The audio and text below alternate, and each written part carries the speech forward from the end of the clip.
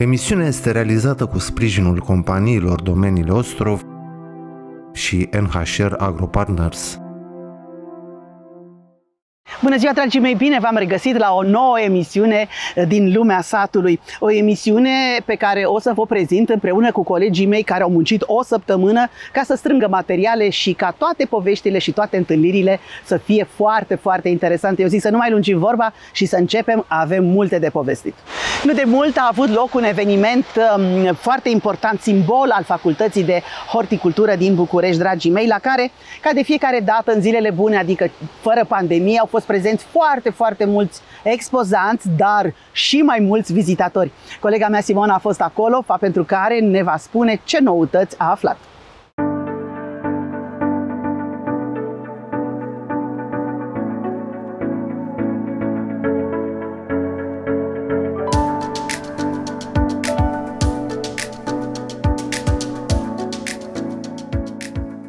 Bună ziua, domnule prorector! Este minunat aici la dumneavoastră, ca de fiecare dată. Dumneavoastră oricum vă ocupați foarte mult și de partea de cercetare și uh, invitați și fermierii să, să învețe, să afle lucruri noi de la dumneavoastră, dar și promovați uh, frumosul, promovați o formă de terapie cu flori, culoare, natură. Ce ne-a dat bunul Dumnezeu de fapt? Spuneți-ne mai multe detalii despre tot ce faceți dumneavoastră și despre ce noutăți aveți. Suntem la Universitatea de Științe Agronomice și Medicină Veterinară din București, la Facultatea de Horticultură. Ca în fiecare an, în luna mai, eh, este o sărbătoare a horticulturii. Am numit-o Zile Horticulturii Bucureștene, în urmă cu 7, 18 ani, în 2004 am început, atâta doar că în 2020 eh, am făcut o pauză datorită necazurilor eh, virale pe care le-am parcurs. Am hotărât în acest an să Eh, mergem înainte, să trecem peste dificultăți și să încercăm să aducem din nou alături de noi eh, atât fermierii, producătorii de plante, de bul, de semințe, eh, cei care furnizează echipamente, mașinării, utilaje pentru horticultură, dar și publicul larg, pasionații de frumos, așa cum ați spus, cei cărora plantele le sunt companioane, florile le sunt alături. Uh, un vin bun uh, poate să ne fie alături în, uh, în multe situații și această manifestare care durează patru zile conține 14 ateliere și conferințe în care specialiștii noștri, profesori de la Facultatea de Horticultură, doctoranzii, masteranzii, prezintă rezultatele cercetărilor. Avem și invitații de la societăți comerciale cu care colaborăm pe domenii de vârf, de exemplu, uh, tehnologiile digitale în uh, uh, horticultură și, bineînțeles, transferăm aceste cunoștințe și rezultatele cercetărilor noastre către cei interesați. Am găsit posibilitatea tehnică ca în acest an, pe lângă prezentările live pe care le facem aici în amfiteatre, respectând normal uh, cerințele impuse de, de reglementările în vigoare, dar și în serele noastre, în uh, plantațiile pomicole, uh, să transmitem online pe canalele de YouTube ale universității noastre toate prezentările. În felul acesta, numărul celor care ne privesc, audiența este mult mai largă și ne bucurăm că în felul acesta și altădată cei care doresc vor putea să uh, aibă informația pusă la dispoziție. V-ați adaptat uh, foarte mult uh, și modul de comunicare. Dacă a fost o problemă anul trecut pe partea de promovare, pe partea de târguri fizice, ați trecut foarte mult pe partea de online, asta spuneați. Cât de deschis sunt oamenii către, către partea asta? Ce ați observat? Trebuie să știți că la început uh, am avut mici dificultăți, însă din fericire la Facultatea de Horticultură, ca și la alte facultăți ale universității noastre, noi avem de foarte mulți ani așa numitul învățământ la distanță. Deci aveam deja platformele uh, digitale pentru cursuri, pentru transmisie live, uh, deci din punct de vedere tehnic eram pregătiți. Uh, a mai fost nevoie să ajutăm studenții cu laptopuri, să uh, aibă acces la, la internet, mulți dintre ei. Și atunci, din fericire, repet, pe partea asta, lucrurile au stat foarte bine pentru că uh, cursurile, multe din cursurile noastre erau pe platformă deja și puteau să fie accesate. Uh, am, uh, cu toate minusurile și cu toate dificultățile care apar într-o astfel de situație, să știți că au fost și părți pozitive, adică mulți oameni obișnuiți au fost nevoiți să înceapă să-și folosească telefonul mobil pe post de receptor de informație pentru imagini și așa mai departe. Și oamenii au început să învețe și să se adapteze. Și trebuie să știți că, de exemplu, am constatat la cursul pe care îl predau de pomicultură că pe lângă studenții mei, atunci când fac cursul și dau, transmit deja linkurile Zoom, participă la curs online, bineînțeles, și alte persoane din afara facultății. Deci ei au acces în felul acesta la informație. Noi suntem o universitate publică, o facultate publică, uh, suntem chiar încântați de, de acest lucru și în felul acesta, iată, uh, informația se, se răspândește uh, mai bine. Am fost în, invitat în ianuarie la o firmă mare care comercializează pesticide, care de asemenea a făcut pentru prima dată întâlnirea aceasta cu producătorii, cu fermierii, online. Ei bine, numărul celor care au avut acces la informații a fost de 3 sau de 4 ori mai mare decât într-o întâlnire fizică obișnuită. Deci iată că avem și avantaje, bineînțeles, legate de, de acest lucru. Trebuie însă să fim uh, foarte, uh, uh, cum să zic eu, vehemenți în a spune că nu poți să înveți să tai pomii sau să altoiești, de exemplu, online. Este imposibil. Chiar dacă facem noi filmulețe, avem, am încărcat tot felul de aplicații pe YouTube, uh, pe, pe canalul uh, Facultății de Horticultură, care, iată, au devenit uh, să nu zic virale, dar au devenit, au devenit utile pentru toți cei care vor să învețe cum să tai un pom sau cum să altoiască nucul, de exemplu, sau, sau cum să altoiască plantele de kiwi. Uh, doar pentru a vă spune câteva exemple. Însă cu studenții noștri, uh, din, uh, deja din acest an, din toamna acestui an, am hotărât să, pentru a reduce numărul de studenți din campus, să invităm pe jumătate din ei la lucrările practice. Am invitat anul, anul 2 și anul 4, anul 3 și anul 4, de exemplu, timp de șapte săptămâni și atunci ei au făcut lucrările practice în livadă și în sere și peste tot unde învie, în cramă uh, și după aceea au venit colegii din ceilalți ani. Acum sunt colegii din anul 1 și anul 2 care își fac aceleași lucrări practice, bineînțeles, în condiții reale, în, uh, în mijloacele noastre, în laboratoarele noastre. Chiar voiam să vă întreb cum uh, s-au adaptat studenții și cât de greu sau cât de ușor s-au adaptat noilor condiții. Studenții sunt tineri și sunt dinamici și uh, ei deja folosesc uh, mijloacele de comunicare foarte, foarte ușor. Uh, le lipsește și lor uh, întâlnirea cu colegii și cu profesorii, deci chiar ne roagă să mai vină când, uh, când uh, există posibilitatea. Studenții de la distanță, de exemplu, vin sâmbătă și este o bucurie pentru ei să se întâlnească și să facă lucruri efectiv în, în, în livadă, de exemplu, sau în, în celelalte spații de învățământ pe care noi le avem. Deci lipsește contactul practic cu, cu cei, cu colegii, cu cei dragi, cu cadrele didactice și prin, chiar prin manifestarea pe care o facem astăzi ne dorim să revenim încet, încet spre normal, pentru că e clar, starea COVID nu este normalitatea. Uh, normalitatea este să fim uh, cu ai noștri și să facem lucruri în natură, în săli, în să o luăm ca pe o oportunitate de a ne adapta.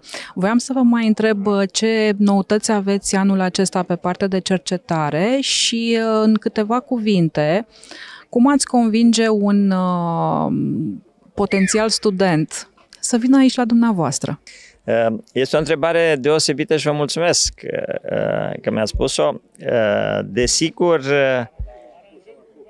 noi ca profesori și ca cercetători ne scocim, încercăm să găsim întotdeauna lucruri noi, să facem lucruri noi, să găsim soluții la problemele care există. Nu ne plictisim, să știți, pentru că probleme apar într-un an producție, apar specii noi de boli și de dăunători Dar iată, noi avem la Facultatea de Horticultură o cercetare deosebită, zic eu, de foarte mulți ani, pe zona introducerii speciilor pomicole noi în România. Încă din 1993 am introdus plantele de kiwi și le studiem aici. Anul ăsta, cu mare satisfacție, vreau să vă spun că am depus la ISTIS, care este Institutul de Stat pentru Testarea și Înregistrarea Soiurilor, patru selecții de kiwi românesc, deci vom avea, iată, patru soiuri de kiwi românesc, trei plante femele și un soi mascul.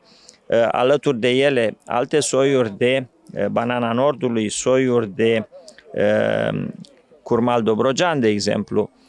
Sunt creațiile colegilor de la Facultatea de Horticultură care vor fi disponibile pentru fermierii români și v-aș ruga să vizitați standul Facultății de Horticultură și să vedeți că, plecând de la faptul că noi producem plante, producem tehnologie de cultivare, avem fructe și ne, facem, ne punem problema cum să valorificăm mai bine fructele respective. Dacă vom putea vinde kiwi românesc în stare proaspătă, e clar că o mică parte a producției nu va putea fi vândută pentru că fructele vor fi ușor deformate, nu vor răspunde cerințelor de standarde și atunci acele fructe trebuie să meargă spre valorificare, spre industrializare.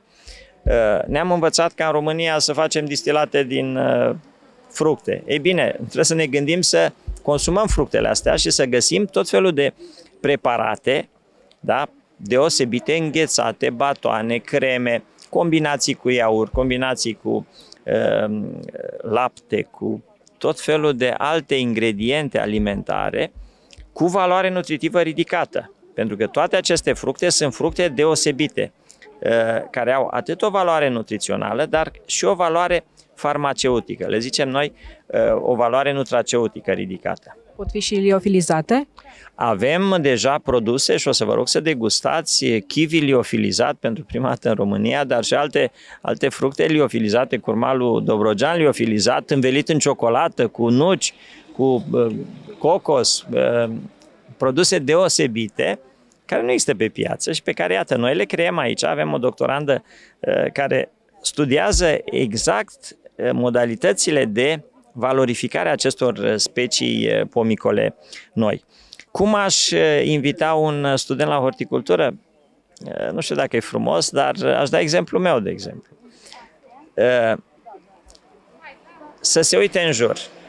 Și dacă în jurul său va vedea un pom, o floare, un butuc de vițe de vie, niște struguri, un suc, niște vin, um, un arbore deosebit, un pin, mă uitam aici, este un pin deosebit în spatele nostru, un pin deosebit, un platan, un trandafir.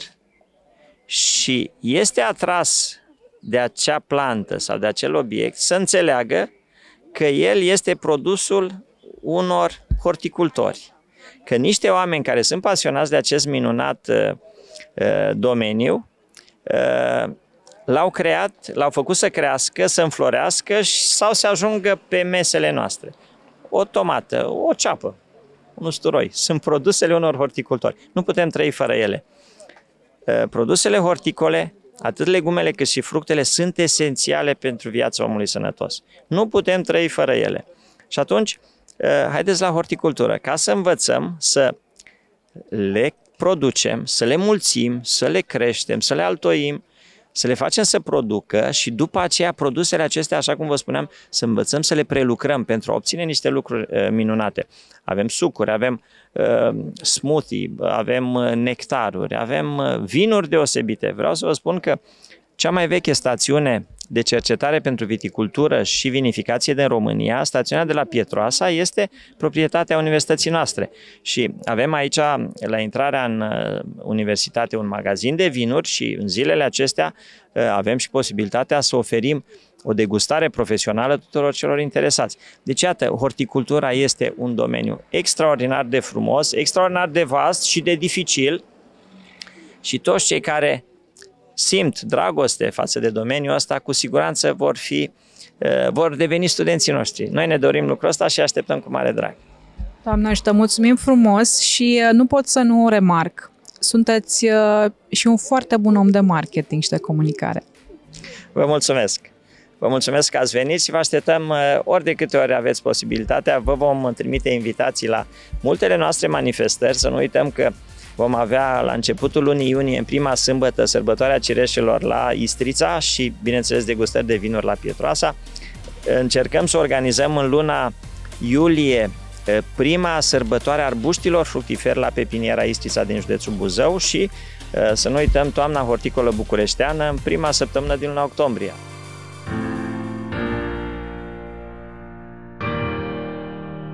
Obiectivul principal al Facultății de Horticultură îl constituie pregătirea specialiștilor în domeniul legumiculturii, floriculturii și artei florale, arboriculturii ornamentale. De asemenea, și în domeniul peisagisticii, pomiculturii, viticulturii și vinificației, în vederea integrării acestora în activități de producție, cercetare, învățământ și alte domenii conexe dictate de exigențele impuse de economia de piață. Pe lângă baza teoretică, Facultatea de Horticultură oferă și oportunitatea de a pune în practică cursurile predate. Astfel, facultatea pune la dispoziția studenților workshop-uri, vizite de studiu, conferințe, expoziții și diverse alte evenimente utile, atât pentru dezvoltarea profesională pentru a acumula experiența mult dorită pe piața muncii, cât și pentru valorificarea elementelor teoretice învățate pe perioada anului universitar. Iar toate aceste oportunități atrag studenți care iubesc horticultura și care vor să promoveze școala românească și rezultatele rezultatele muncii de cercetare, iar viitorul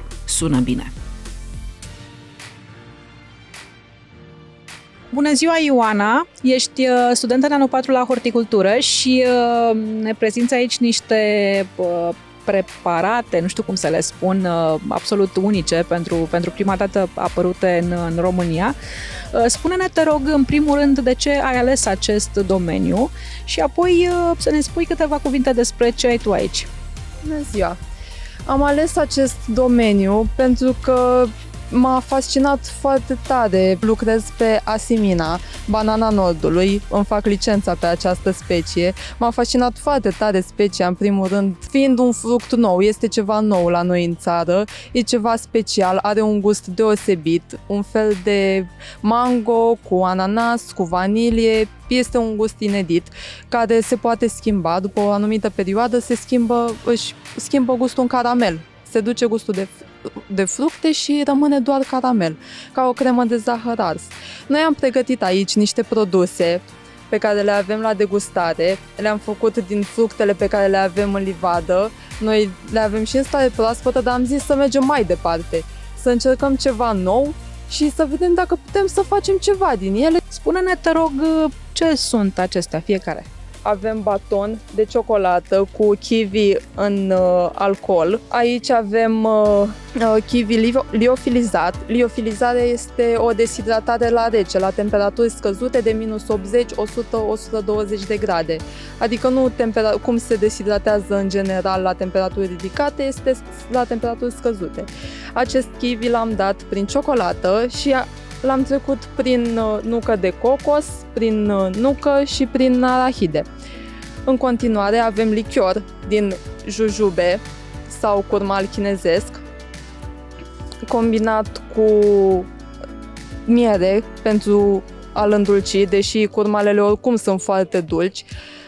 Uh, acestea au fost combinate și cu trandafir și cu prune deshidratate avem lichior din kiwi, îndulcit cu miere și în aceste borcane avem uh, kiwi liofilizat în miere și kiwi deshidratat în miere. Ioana, te rog frumos să, să ne dai uh, un sfat. De exemplu, celor care vrem să ținem regim, dar nu putem să renunțăm la dulciuri. Poți să ne spui dacă, alegând astfel de fructe liofilizate, cărora li s-a adăugat la rahide sau ce, ce mai uh, avem aici, nucă de cocos, uh, facem o alegere mai bună? Avem mai puține calorii? Cu siguranță este o alegere mult mai bună. Te recunosc, sunt bune dulciurile din magazin, numai că acestea sunt la fel de dulci și sunt mult mai sănătoase și vă recomand să încercați aceste produse din naturale. Mulțumim mult și îți dorim să ai mult, mult succes în tot ce vei face. Și eu vă mulțumesc!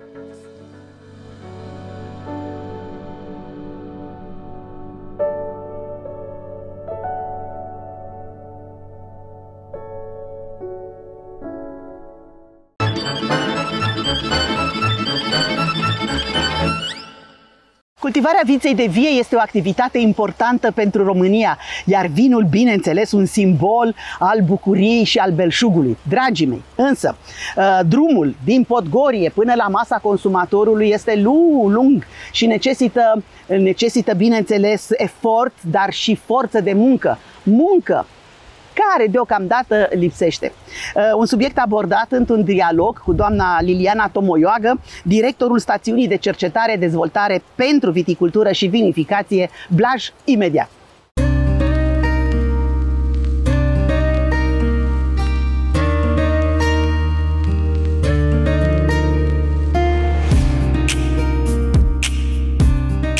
Avem uh, foarte multe rezultate pozitive din partea celor care se implică în acest învățământ dual, în care face și dumneavoastră parte. Să spuneți cât de important este susținerea acestui. Da, a fost o idee extraordinar de bună, învățământul dual.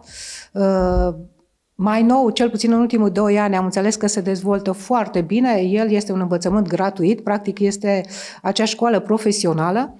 Și de ce știi, uh, spun că este soluția salvatoare pentru noi, horticultorii, pentru că ne confruntăm cu un deficit extraordinar de mare de forță de muncă manuală uh, în domeniul horticol. Uh, la ora actuală, credeți-mă, nu găsim altoitori, deci pepinieriști, cum ar fi și pe altoid vița de vie și pe altoid pom fructiferi. Uh, nu găsim uh, pomicultori, pomicultori care știu să facă tăieri în pomicultură. Nu găsim uh, viticultori care știu să facă tăieri pe viticultură. Deci există un deficit extraordinar de forță de muncă în acest domeniu și atunci învățământul dual este într-adevăr o soluție. Noi am încercat să, să legăm, știu eu, colaborări cu liceurile tehnologice din zonă, adică cu Liceul Agricol uh, Blaj și cu Liceul Agricol uh, Ciumbrud. Uh, încercăm, sper și dânsii să aibă deschiderea necesară, pentru că noi încă avem uh, uh, oameni și profesioniști, uh, meseriași, care pot să asigure cadrul necesar pentru ca acești tineri să, înva- să învețe aceste meserii. Pe, uh, și vă spun, uh, cel puțin uh, altoitorii sunt extraordinar de bine plătiți. Nu știu dacă știu uh, tinerii din ziua de astăzi că uh, altoitorii noștri pot să câștige pe zi în jur de 100 de euro net în mână. Deci net fără impozite, pentru că acum dăm și impozite, li se uh, ia în calcul și CAS-ul. Deci eu zic că e foarte bine plătit uh, în condițiile în care înveți să altoiești. Mai mult decât atât, nu este altoire manuală.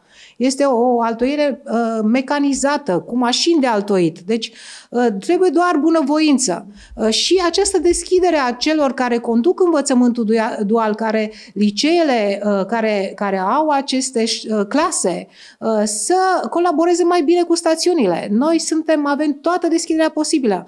Înțelegem că sunt și tineri care probabil nu au înclinație neapărat pentru altoit, să zicem, da? Sau pentru tăierile la uh, visa de vie sau la pomfrutive, dar poate că au altfel de înclinații. Poate le place floricultura, poate le place, uh, știu eu, partea de legumicultură.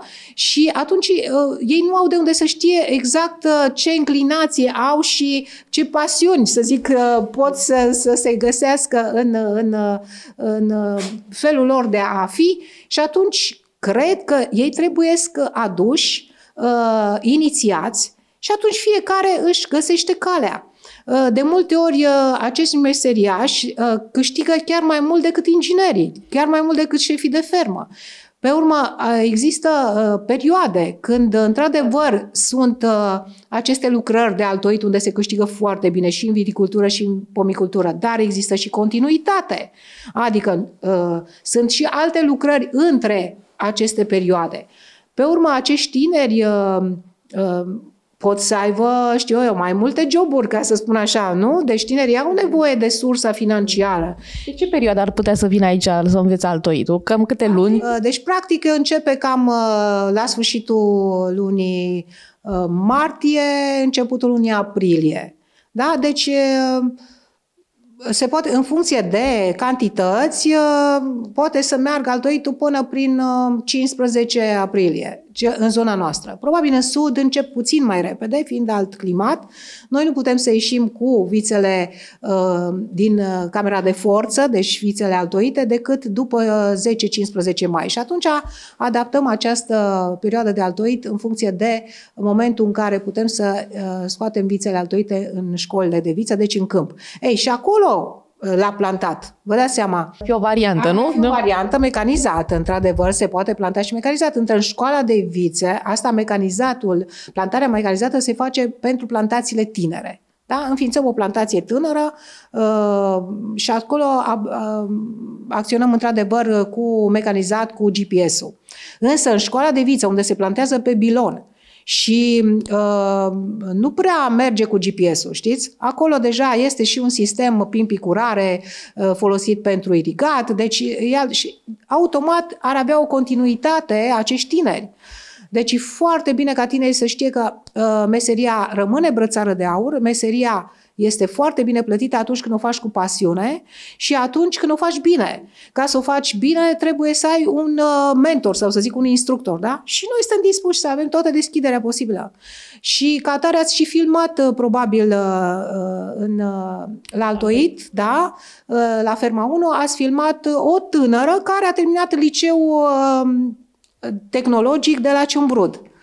Uh, ea de la 18 ani ne altoiește, dar culmea, nu a învățat uh, la profesională, ca să zic că ea a terminat liceu, deci n-a învățat nici la liceu, a învățat cu părinții, mergând la altoit, la diferite firme.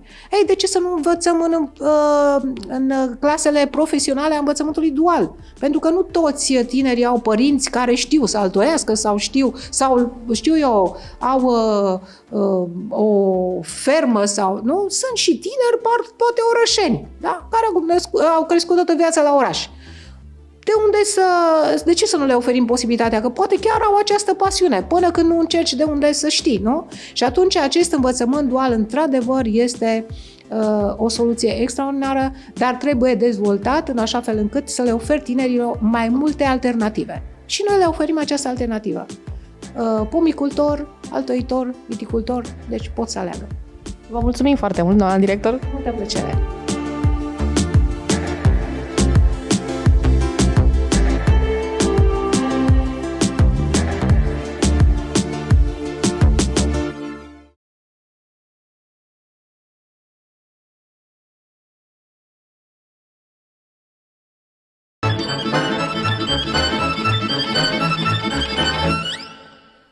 Oițele la munte.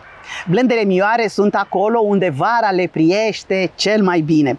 Tocmai despre ele vorbim în minutele următoare cu unul dintre cei mai avizați specialiști în domeniu. Aflăm imediat despre ce este vorba.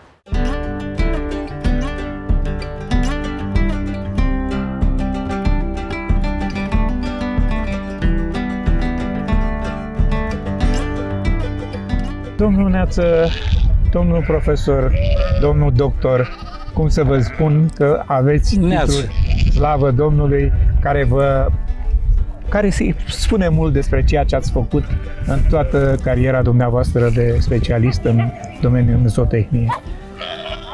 Iată că viața ne-a adus să ne întâlnim și pe aceste meleaguri, pe Valea Jiului, în mijlocul unor crescători de animale, crescători de ovine și unde dumneavoastră puneți mult suflet pentru această specie pe care iată o avem în spate. Îmi vorbeați cândva despre o populație pe care vreți să o omologați. Spuneți-mi despre ce este vorba. Da, sigur, vă mulțumesc pentru frumoasele cuvinte. Este vorba de o populație rară pentru România. E vorba de țurcană face parte din uh, suprarasa țurcană, e vorba de varietatea brează, care din punctul meu de vedere nu este o varietate, este o rasă, are toate aturile posibile ca să poată să fie omologată. Numai să dorim, să dorim și statul român trebuie să se aplece foarte mult, pentru că cu cât crește biodiversitatea rasială, cu atât România va fi mai băgată în seamă în cercurile internaționale de discuții la FAO și în altă parte. Deci, iată, deci este bine să avem bine consolidate e, multe, e, multe rase. Este foarte bine. Este foarte bine pentru că odată având o, o diversitate mare de rase, avem și capacitatea de producție foarte mare, da? Și mai avem o, o problemă care avem și capacitatea de consum a acestei minuni a naturii care este iarba. Deci să știe că oaia țurcană este o oaie de iarbă, nu e o oaie de saivan. Sigur că da. Este vorba de brează. este vorba, domnul doctor, este vorba de valorificarea a unei bogății imense pe care, de care dispune România. Peste 4 milioane, aproape 5 milioane de pagini naturale. Sigur, sunt 5 milioane de pagini naturale care sunt destinate uh, producerii de furaje, deci de pășunat și de producere de furaje, de fânuri. Dar uh, dacă mai punem uh, și încă 2,5 milioane de hectare care sunt suprafețe care trebuie odihnite în fiecare an datorită asolamentelor, ia că ne apropiem de 7-8 milioane de hectare. Deci o, o chestiune care uh, este greu greu de, de, de înțeles cum nu putem să dezvoltăm șeptelul de animale în România. Uh, pentru asta uh, era normal și fac apel către guvernanții noștri să reînființeze în cadrul Ministerului Agriculturii Direcția Generală de Strategii. Ministerul Agriculturii nu mai are. Eu am fost ultimul director general al unei direcții generale de strategii care s-a desfințat, o să, nu o să vă vină să credeți, în anul 2004. Și prin ce se caracterizează această populație care o doriți ca omologată ca rasă? Sigur, este o rasă, îmi permis să îi spun rasă, cu toate că nu avem un certificat de omologare, dar cred că se va realiza această chestiune, este vorba de rasa brează. Uh, această oaie, îi zic oaie, să nu-i mai zic nici rasă, nici varietate, este o minune a naturii. De ce? Deci este o minune a naturii datorită performanțelor deosebite pe care le are. Care sunt? În primul rând, performanța în direcția producției de lapte. Uh, vedeți dumneavoastră selecția pe care au făcut-o uh, momârlani în acest bazin. Deci șobanii din această zonă. Zona Băijiu, Zona Băijiului, care este de fapt, uh, din punctul meu de vedere, zona de elită, ferma de elită a României în ceea ce privește această rasă. Aici această rasă s-a bucurat de dragostea crescătorilor și s-a creat acest uh, ecotip deosebit de puternic, observați că ea este o rasă care la prima apariție este o rasă fină. Dar dacă stăm să ne uităm la greutatea corporală și dezvoltarea pe care o are, este destul de robustă. Deci din această dezvoltare corporală rezultă forța ei în direcția producției de lapte are o capacitate respiratorie extraordinar de mare comparativ cu celelalte oi din... Deci din, se pretează la bășunat pe abs, munte și absolut. pe toate formele de relief. Deci uh, cutia toracică este atât de bine dezvoltată încât uh, conferă organelor vitale, inimă și plămân, o dezvoltare foarte mare, o putere de, de aspirare a aerului și de oxigenare a sângelui și, bineînțeles, în final, în direcția, în producția de lapte mare. Care sunt performanțele? De ce aș vrea să procur și să am în stâna mea, în exploatația mea, o asemenea oaie, Sigur, o asemenea producția medie a, a acestei populații este undeva la 800 uh, de mililitri un kilogram de lapte la mulsoare. Deci cam, cam asta o mulsoare e, însemnând o mulsoare pe zi? O, o mulsoare nu pe zi, se mulge la ora actuală de trei ori pe zi. Dar nu, nu poate să aibă o asemenea performanță la toate trei și să zicem la mulsorile de dimineață are această performanță de un litru de lapte, după care la prânz... Dar putem vorbi de un 2 litri, 2 litri de lapte și jumătate litri, pe zi. Există exemplare în populație care depășesc 2 litri de și jumătate. Plus variante care, Plus pot, variante care, care pot, fi folosite fie, la selecție și ameliorare. mame de berbeci Corect. care să producă generațiile următoare. Numai așa putem să prin uh, derularea programelor noastre de selecție să ameliorăm această rasă. Așa au făcut toate țările lumii. Domnule profesor, eu vreau să mâine să-mi fac o stână de oi. Convingeți-mă că este cea mai performantă rasă de oi. Păi vă dau trei elemente. Vă rog. 1. V-am spus una prima dată, capacitatea respiratorie și forța mare la pășunat. Corect. Deci puterea de, de adaptare și capacitatea de a valorifica foarte bine pășunea. Este unul. Da? Doi, producția mare de lapte. Este al doilea element. Al treilea, producția mare de carne. O să rămâneți surprins cum și lapte și carne. Simplu. Ea are o, o gemelaritate determinată genetic. Natalitatea ajunge în unele turme la 70%. Deci de 100 de oi fac 170 de mei. Deci, iată, prin uh, numărul de mei sporit, poate să crească producția de carne. Păi înțeleg că dacă are o capacitate respiratorie atât de mare, valorifică bine masa vegetativă, Fără discuție. valorifică în sensul transformării, în producție finită, până la urmă lapte și carne, Exact. se dezvoltă armonios. Exact, exact. tot Deci dacă, organ- dacă organismul. ne uităm la un animal și observăm în acest moment glanda mamară, care este extraordinar de bine dezvoltată, ne dăm seama că Apropo, se pretează la mulsul Asta am mecanic. vrut să vă spun, al patrulea element. Este uh, ușurința la muls, pretabilitatea la mulsul mecanic. Asta le-ar, le-ar, uh, Ușura le-ar ușura munca crescătorilor. Crescătorilor. Și așa nu mai avem personal care să se ocupe de această activitate. Spuneți-mi, ea se pretează în toate zonele de creștere a ovinelor din România? Uh, Eu consider că da. Uh, Dar trebuie totuși ținut cont de arealul în care s-a format. Deci o ducă cam, cam în aceleași cam în aceleași condiții condiții, de- cam în de- aceleași condiții. creștere. N-aș îndemna pe nimeni să o scoate din areal- arealul montan și să o ducă la șes. Nu, deci este cea mai mare gafă posibilă. De fapt, pentru toată Și- țurcana e valabil. Și cred că în șes nici, nici n-ar exploata capacitatea ei respiratorie. Nu. Iată Deci că n-are, vorbeați de- n-are despre cum. Asta. Ce să inspire praf vara? Da, și vă ziceam. mai spun ceva. Dacă această oaie ar fi exploatată așa cum exploatează, să zic, țările din vest, oile pentru lapte, adică să le adauge la acest uh, iarbă, să le adauge un supliment de concentrate, proteină, o vitamină, Da. mineral pe zi, garantez că nu, nu stă nicio rasă din Europa în fața ei, ca și economicitate. Acum aș vrea să vă spun câteva lucruri despre acest facies, această culoare a feței. Nimeni nu știe de unde a apărut. A apărut, părerea mea, că la un moment dat a apărut ca o mutație genetică într-o populație. O mutație, una sau mai multe, într-o crescătorie sau mai multe crescătorii. Această mutație genetică, deci e culoarea aceasta cu obrajii e, negri de la Și cu castaniu. negrul ăla în formă da, de V. în formă de V.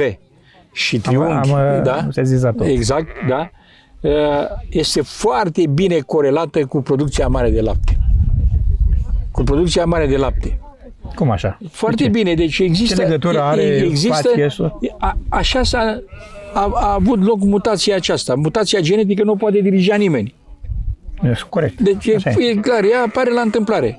Deci, a, când a apărut acest colorit la exemplarele care au apărut, a apărut și o dezvoltare extraordinară a glandei mamare și dezvoltarea sfârcurilor și cantitatea mare de lapte. Probabil Da? luate ca o minus De- variantă la început, dar iată că Exact. a devenit plus Ei, variantă. Crescătorii care au avut, au beneficiat de aceste uh, exemplare, au sesizat la timp aceste lucruri pentru că au avut efective mici. Fiecare mult gând la ele, stând toată ziua cu ele și au dat seama. Și au dezvoltat, au reținut, au reținut animalele care au avut această, acest facies.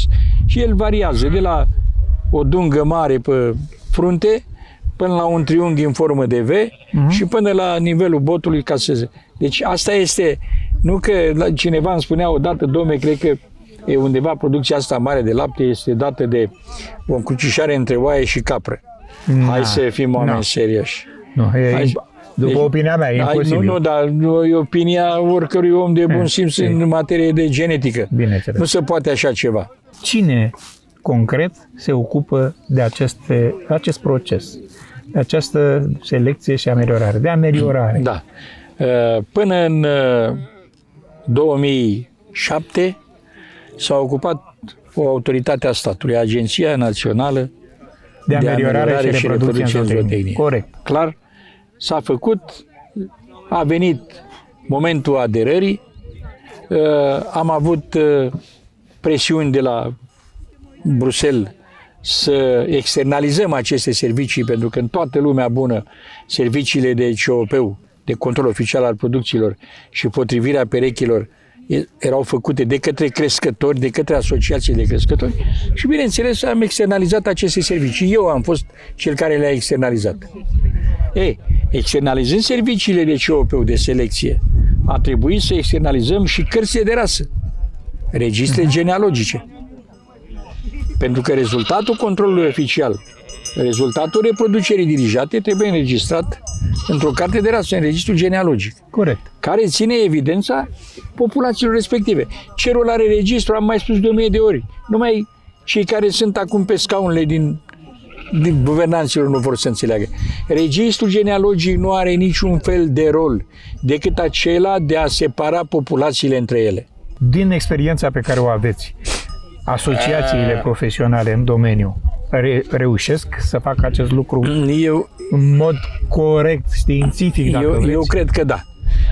Dacă până în 2014 nu erau susținuti, erau așa și așa, deci am, am mai spus, mi se pare, și cu altă ocazie de momente dramatice de adeptul pentru rețeaua de ameliorare, când un ministru, nu vreau să-i pronunț numele, a venit și a desfințat controlul, a desfințat tot și a zis că merge și așa, fără să gândească că această activitate este o activitate strategică, este activitatea care pune în farfuria românilor și a oricărei nații, nații mâncarea, da?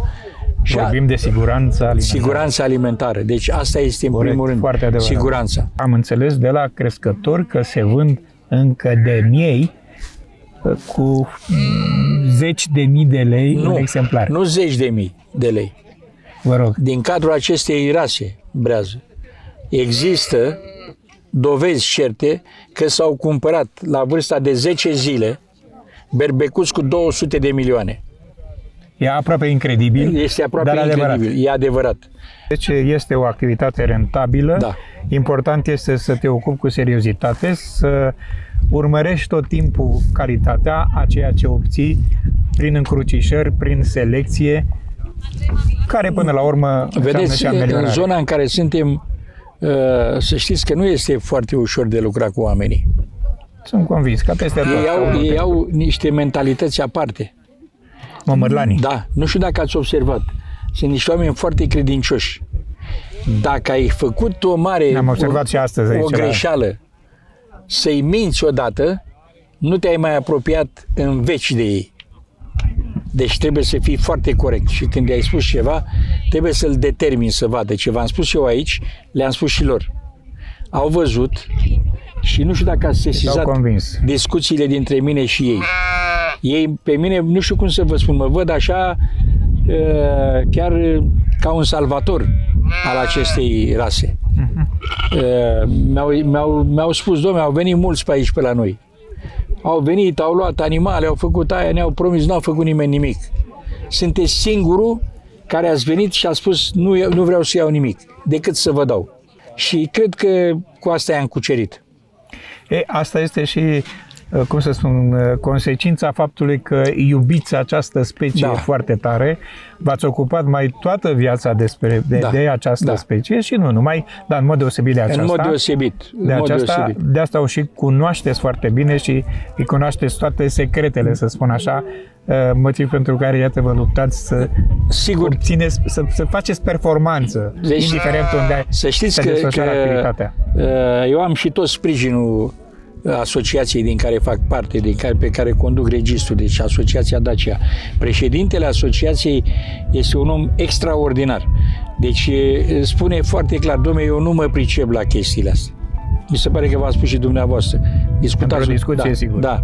Deci, atunci, sigur că de foarte multe ori eu, fiind și la o vârstă la care nu mai îmi permit rateuri și chestii de-astea, mai am uh, explozii de nervozitate și asta. Și stă, se calmează și zice, domnule, totuși spuneți-mi ce doriți. N-a fost odată când ne-am cerut ceva să nu, fac. Să, să, nu, să nu fac. Deci toate populațiile acestea și toate rasele acestea au locul lor în arealele lor bine absolut, consacrate, absolut. Adică arealele, arealele consacrate. Deci putem vorbi de posibilitatea de a crește această specie în toate regiunile țării? Domnul Banu, m-a, m-a sunat un crescător din Timiș săptămâna trecută. Domnul director, ce faceți, nu știu ce, știu că aveți niște probleme, dar aș vrea să veniți până la Timișoara. Domnule, de ce să vin? Hai, spunem că... Domnule, vreau să veniți să vedeți oile mele. Păi uite, sunt acolo băieții, sunt băieții, sunt buni, sunt mulțumit de ei, dar e una să discut cu dumneavoastră și alta cu ei. Și vreau să vă spun, să vedeți ce oi băle am. Aha. Zic, trimitem un film. Că nu pot să vin acum, chiar nu pot, că ce vreau să le tund. Și trimitem un film. Când am văzut ce mi-a prezentat, nu-mi venea să cred. Domnul profesor, aș vorbi cu dumneavoastră trei zile. Continuu da. că aveți ce povesti, aveți ce spune, cu siguranță, cu siguranță o să vă mai caut și tot așa într-un, într-un spațiu din ăsta mirific ca acesta să discutăm despre și despre celelalte rase de animale, de, avem, de, de Avem rase. Avem, și sunt convins. E... Numai că trebuie, trebuie și spus oamenilor. Sigur că... Și nu poate spune mai bine decât un specialist în domeniu. Așa e. Cum sunteți dumneavoastră? Vă mulțumesc și să dea Dumnezeu să ne întâlnim. Să fim sănătoși și cu siguranță ne vom vedea. Uh, am emoții cu certificatul de omologare. Vă simt. Atât. Nu mai doresc nimic. Să vă dea Dumnezeu sănătate, nu numai, nu numai pe acesta să-l obțineți. Încă multe altele. Succes mult și multă sănătate, domnule. Mulțumesc!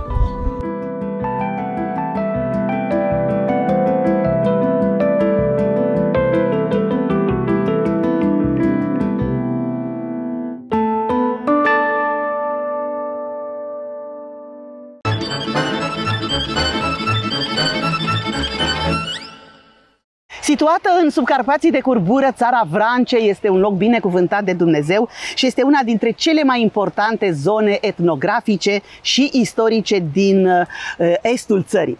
Dragii mei, acolo sunt câteva podgorii foarte renumite, dar și livezi cu rod bogat. Despre una dintre aceste livezi vom vorbi chiar acum.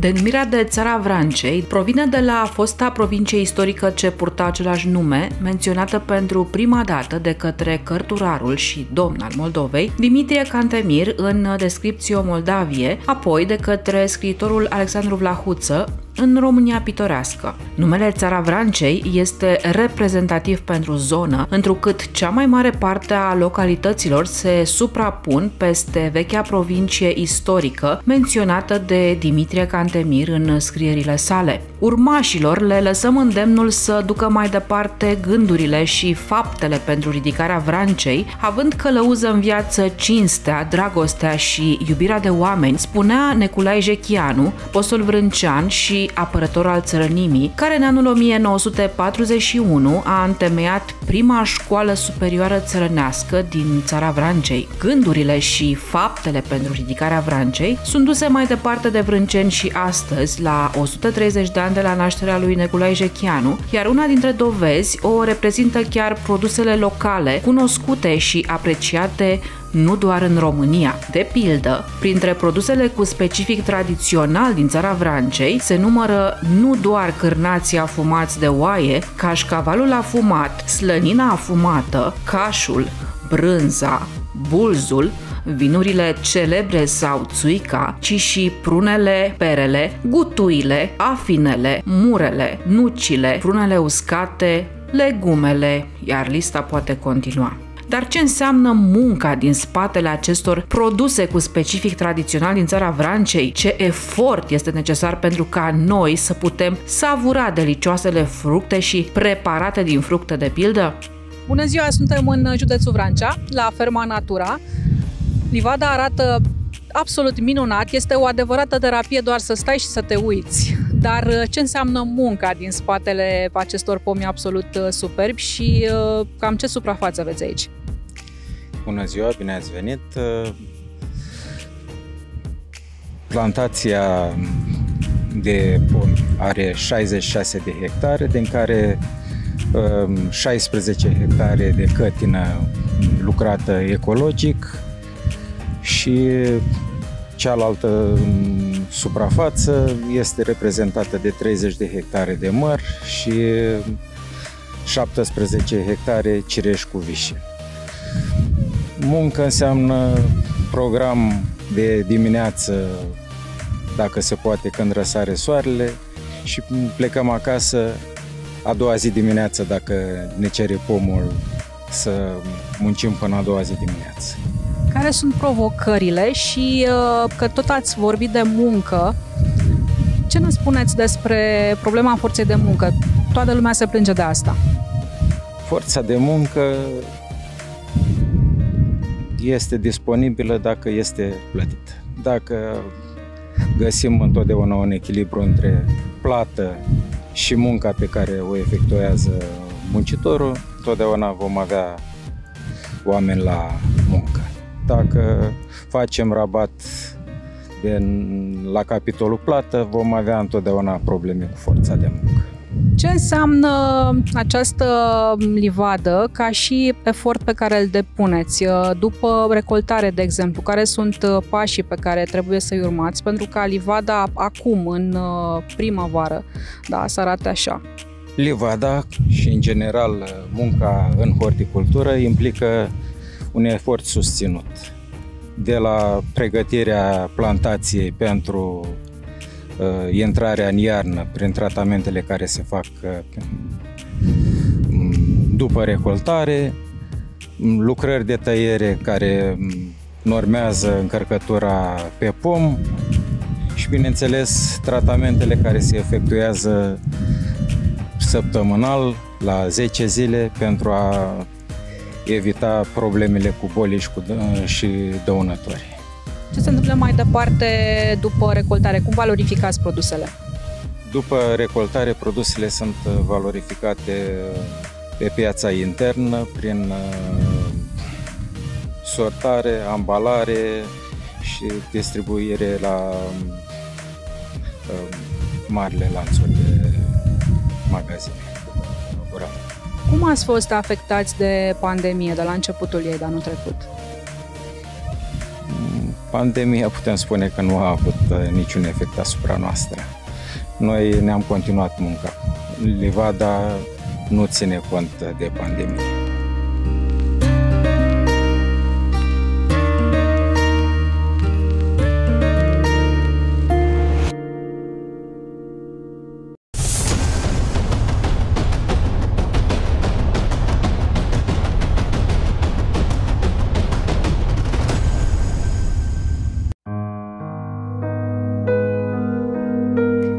Data de 15 mai, agricultura din România este mai săracă. Specialistul Valentin Mihai, unul dintre oamenii de bază ai companiei Corteva AgriScience, a trecut în neființă. Dedicat întru totul muncii, acesta a devenit unul dintre cei mai apreciați oameni din domeniu, iar recomandările și sfaturile pertinente pe care le oferea ori de câte ori avea ocazia erau apreciate de fermierii din toată țara. Agronom de profesie, acesta și-a dedicat o bună parte a activității sale culturii porumbului, o cultură pe care o cerceta continuu, iar acest lucru se observa în rezultatele pe care le obținea în fiecare campanie. Și-ar fi dorit să crească și piața porumbului silos din România. Acesta a fost subiectul ultimului interviu pe care ni l-a acordat. Alături de hibrizii de porumb pentru boabe, știu că în portofoliul companiei Corteva există și uh, porumb pentru silos, deja unii dintre aceștia destul de bine văzuți în piață. Care ar fi pentru această campanie hibrizii pe care i-ați pus la dispoziția fermierilor? Da, în primul rând vreau să vă spun că uh, Corteva n-a fost un jucător mare pe piața de, de silos din România, dar este un jucător gigant uh, la nivel mondial. În România, suprafața de porumb pentru siloz se estimează a fi undeva la 5%. Noi estimăm undeva la maxim 100.000 de hectare, între 80 și 100.000 de, de hectare de siloz. Și uh, conceptul de siloz din România pleacă de la premiza că porumbul trebuie să fie de talie înaltă, să aibă foarte multe frunze. Știți, după vechiul concept, apă, paie și bătaie, uh, am rămas foarte surprins discutând cu o anumită parte a fermierilor să mi se spună că hibrizii de porumb trebuie să aibă proteină și fibră. Conceptul american este că hibridul de porumb trebuie să conțină foarte multă energie și energia o ia din amidon. Uh-huh. De ce amidonul? Pentru că amidonul este partea de energie care îi se oferă vacii ce asigură energie stabilă pe o perioadă lungă de timp. Deci, noi venim și spunem, doamne, porumbul trebuie să aibă foarte mult amidon și aici uh, vreau să uh, să spunem, să pistonez și să arăt calitatea hibrizilor uh, Corteva. Să ne uităm un pic în, în jur și, de exemplu, pe toată partea de sud a Europei, și anume Italia, Spania, sudul Franței, uh, Turcia, tot ce înseamnă hibrizi de siloz fac parte din această categorie. Și aici uh, Corteva are o cotă de piață excepțională, de peste 75%. Da? Uh, în momentul de față, noi am venit în România să dezvoltăm acest program de siloz și primul lucru pe care l-am făcut, pentru că este lucrul cel mai important, este, a fost să dezvoltăm o echipă. Avem o echipă de trei profesioniști care sunt responsabili pentru fiecare zonă în parte. Avem și o, un pluton de hibrizi excepțional de puternici, din care aș vrea să amintesc doar de Y43. 30 PR31Y43 este poate cel mai bine vândut hibrid de siloz din partea de sud uh, a Europei. De ce? Pentru că este un hibrid care pe lângă productivitatea excepțională pe care o oferă, Anul trecut, de exemplu, am avut fermieri care au obținut 85 de tone de masă verde la acest hibrid. Pe lângă această productivitate vine cu o caracteristică deosebit de importantă și anume acel raport de 1 la 1 între masa vegetală și uh, boabe, da? care este foarte, foarte important. De ce? Degeaba am masă vegetală dacă nu am amidon. Practic, vaca va folosi, va da randament, va da lapte mai mult dacă folosește amidonul din porumbul uh, respectiv. Ca noutate, uh, de anul acesta am uh, introdus în testări un nou concept care se numește BMR, Brown Mid Rib, uh, care practic sunt hibrizi ce din punct de vedere genetic au o digestibilitate mult mai bună a fibrei vegetale. Am văzut de-a lungul uh, timpului, uh, inclusiv anul trecut, și producții, cum a spus mai devreme, inclusiv în centrul țării, la fermieri consacrați, cum mă gândesc la domnul Peter Tamașna, care avea la un moment dat uh, numai cuvinte de laudă pentru acești hibirizi. Um, vreau să vă întreb dacă, din punct de vedere al tehnologiei aplicate, trebuie să fie atenți fermierii. Există un traseu clasic pe care ar trebui să-l urmeze? Trebuie să fie atenți la ceva anume pentru a obține aceste rezultate? Uh, da, uh, în general uh, știți cum e, fermierii din zonele respective cam știu ce, ce trebuie să facă. Bineînțeles, un hibrid pentru siloz este un hibrid care are nevoie de densități mult mai mari decât un hibrid clasic. Nu recomandăm niciodată cultivarea unui hibrid pentru siloz la densități mai mici de 80 de mii. De obicei trebuie să fie 85-90 de mii de plante recoltabile E bine ca fertilizarea cu azot să fie uh, în optim, da? adică să depășim un 200 de kilograme de uh, substanță activă pe hectar. De ce? Uh-huh. Este clar, atunci când avem nevoie, pentru că uh, incontestabil pe lângă amidon, avem nevoie și de fibră vegetală, avem nevoie și de masă uh, verde, orice plantă va crește de la uh, aportul de azot. Da? Deci avem nevoie și de azot. Bineînțeles, uh, prezența precipitațiilor este foarte importantă. Nu vom face porumb de calitate, nu vom avea amidon decât dacă porumbul respectiv ajunge la maturitate, reușește să acumuleze uh, amidonul necesar. Deci precipitațiile joacă un rol important, de aceea în sudul României, cu toți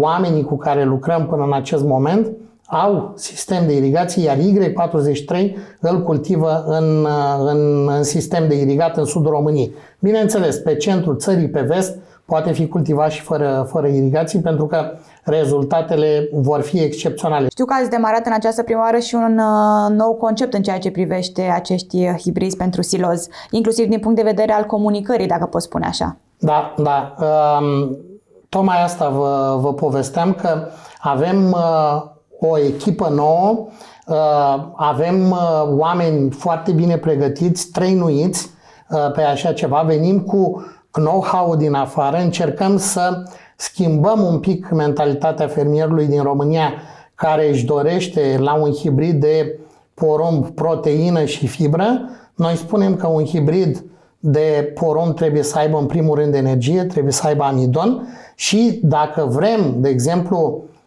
ca fibra să fie mai ușor digestibilă, avem și inoculanții necesari care se adaugă în, în silos și care reușesc să facă destructurarea fibrei.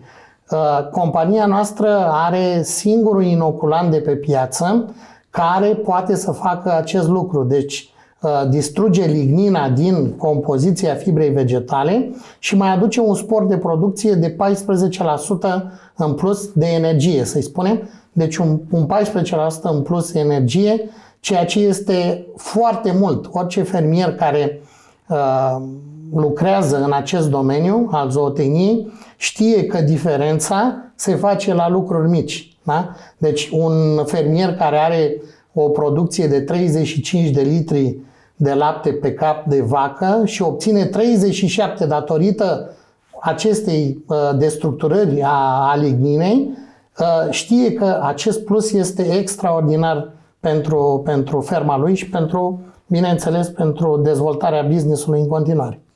Care ar fi costurile de producție pentru un fermier, să spunem? Ați pomenit puțin mai devreme de o producție de 80 de tone la hectar.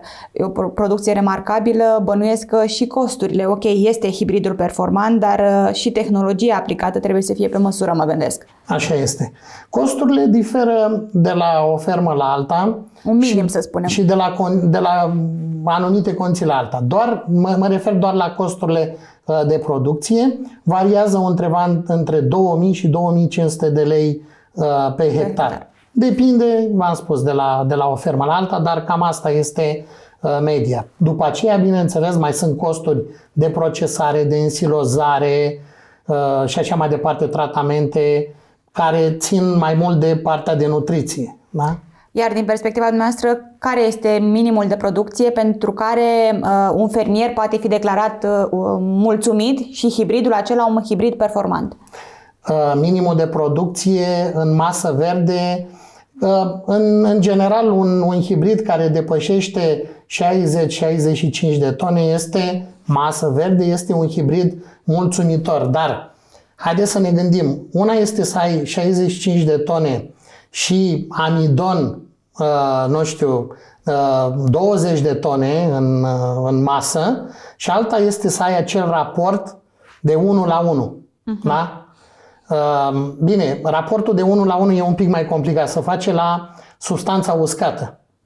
Da? Nu la masa verde, pentru că în masa verde avem foarte multă apă și atunci, bineînțeles, raportul de 1 la 1 se face la masa uscată este foarte important să ne raportăm la uh, producția totală de amidon pe unitatea de suprafață, nu la masa verde. Da? Bine, așa cum am spus, contează pentru fermier și masa verde, pentru că vaca uh, de obicei, nu de obicei, întotdeauna are nevoie și de fibră vegetală, rumen, bineînțeles, pentru că altfel s-ar face un dezechilibru acolo. Da? Și ști, știți cum e, fermierul urmărește să asigure văcuții lui stabilitate atât în nutriție cât și în modul în care se simte. Pentru Sigur că, că da. vaca dacă e stresată, dacă este cald, dacă nu are apă, dacă are acidoză, va, va, nu, nu va da randament. Să știți că surprizele nu se opresc aici. Vom veni cu, pe lângă conceptul de BMR, care este unic în lume, venim și cu un, un concept pe care francezii l-au experimentat cu foarte, foarte mare succes, se numește M3, M-Cube, cum îi spun francezii, de hibrizi foarte timpurii, dar de timp dent. O să vedeți, surprizele sunt foarte, foarte bune și, bineînțeles, suntem, lumea ce trebuie să, să știe, suntem prezenți de anul acesta și pe segmentul de silos.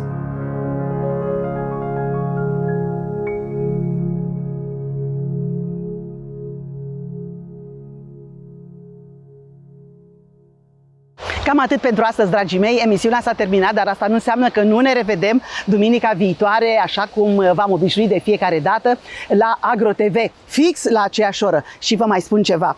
Uh, gazda dumneavoastră viitoare pentru câteva emisiuni va fi domnul Banu. Pentru că eu, bineînțeles, am să fiu implicat într-un proiect despre care am să vă vorbesc când o să mă întorc. Până atunci să aveți o săptămână bună, să fiți sănătoși, să iubiți pe cei apropiați și să nu uitați că eu vă spun de fiecare dată că lumea satului este și lumea noastră. A mea, a ta, a ta, a ta.